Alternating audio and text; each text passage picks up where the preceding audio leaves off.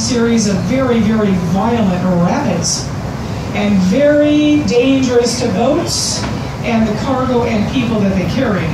So this station was installed here to help deal with the issues of river hazard